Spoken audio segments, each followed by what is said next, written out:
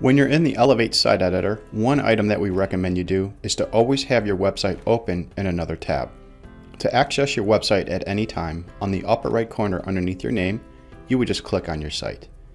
Once clicked, it will open up your site in a new tab for you, so you can preview any changes that you make. Let's go back to the site editor, and in this example, we're going to update the color scheme. To access that, on the left-hand side, click on Color Scheme. You can select a color scheme from the options below or even add your own. We have predefined color schemes based on the brokerages you can see here. For example, Century 21, Keller Williams, etc. Just go ahead and click on the one that you'd like, and then when you're done, hit Save Changes.